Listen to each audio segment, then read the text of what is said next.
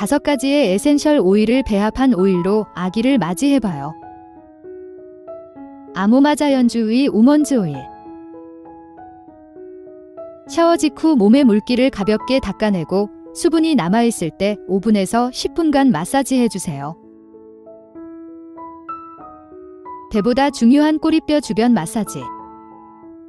꼬리뼈 주위를 가볍게 문지르며 오일을 천천히 바릅니다.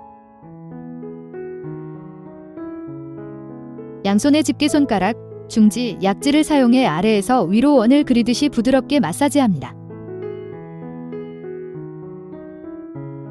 꼬리뼈를 의식하고 손을 모아 덮어줍니다. 배도 같은 방법으로 덮어주면 골반이 자연스럽게 열리게 됩니다. 상반신 마사지 방법. 배꼽에서 손가락 4개 정도의 밑에 있는 부분을 자궁을 따뜻하게 데우듯 부드럽게 마사지합니다. 가장 잘록한 허리 부분의 척추에서 손가락 2개 정도 떨어진 곳이 신유입니다.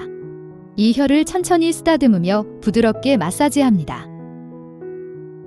혼자 마사지하기 어려운 경우에는 도움을 받아 마사지합니다. 발 마사지 방법. 펼친 손바닥을 종아리에 밀착시키고 발목에서 무릎까지 원을 그리듯이 문지르며 종아리 전체를 마사지합니다. 발바닥과 발끝을 엄지손가락의 면을 이용하여 강하게 마사지합니다.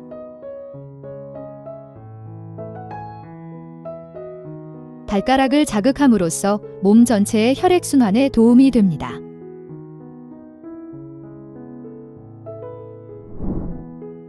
여성의 따뜻한 몸을 위한 스킨케어 마사지 오일.